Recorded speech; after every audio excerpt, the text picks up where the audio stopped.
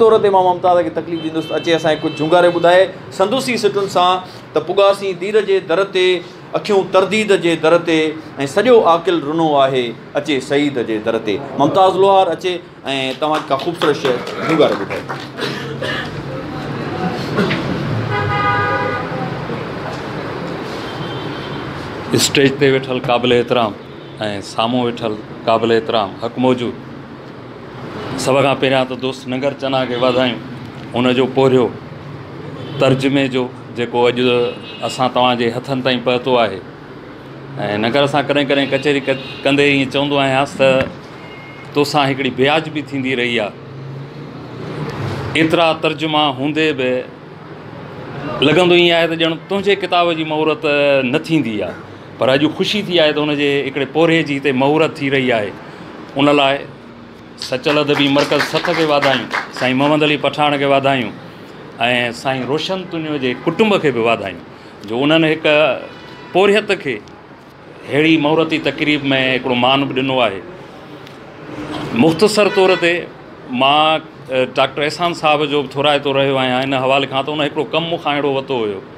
जीअं साईं रिज़वान अचो त सदाईं वठंदा आहियूंसि मुमताज़ खां कमु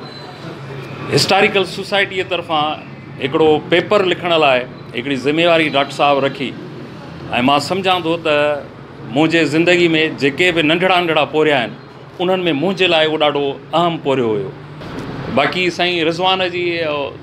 ओचितो हुज वारी फरमाइश सो हसन दरस जो हिकिड़ो ख़्यालु मुंहिंजे ज़हन ते तरी आयो आहे सो तव्हांजे ख़िदमत में आहे लहर थी जागी किरे हो लहर थी जागी किरे रे बी लहर में हो लहर थी जागी किरे रे बी लहर में छो समंदर छो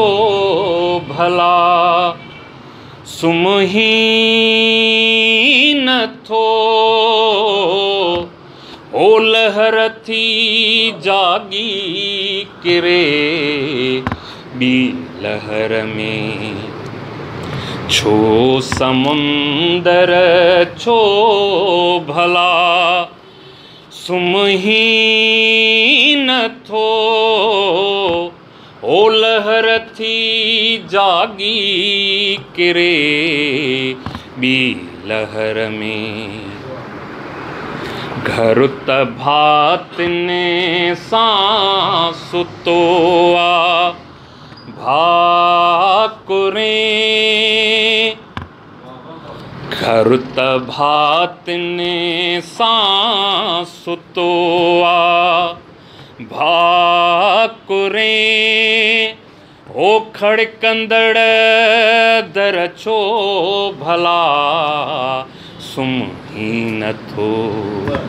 ओखड़ कंदड़ दर छो भला सुम ही न थो